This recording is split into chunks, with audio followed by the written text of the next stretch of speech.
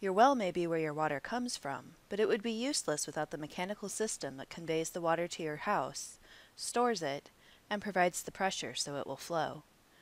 This image represents a typical well and water system for a home. In this example, the well has a screen, so it's a well finished in a sand and gravel aquifer. The pump is in the well just above the screen. The pump lifts the water up a pipe, called a drop pipe, to the pitless unit, part of the pitless adapter. There, the discharge pipe elbows horizontally and carries the water into the house. Once in the house, the water goes into the pressure tank.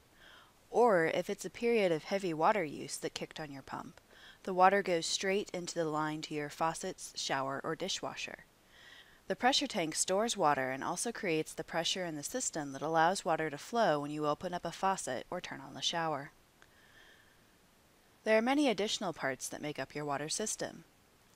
Some of them you can see here, including the well cap, electrical control box, pressure switch, and a faucet on your pressure tank. We can't stress enough the importance of a properly sealed well cap. So many systems we come across have missing bolts, are cracked or broken from being hit by a mower, or have no screen on the vent tube. Any kind of opening creates a pathway for insects or contaminants. In extreme cases, even animals can fall in a well. A sealed, properly secured cap is a simple way to provide important protection for your well.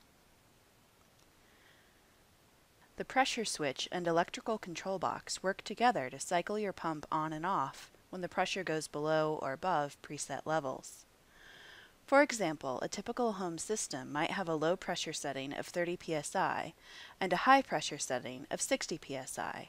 Your pump turns on and adds water to the pressure tank until the pressure reaches 60 psi, then it shuts off. As you then use water in your home, the pressure in the tank slowly goes down. When it gets to 30 psi, the pump will turn back on until the tank is again at 60 psi. The faucet on your pressure tank is there to allow you to periodically flush your tank. It also provides an access point to collect water samples.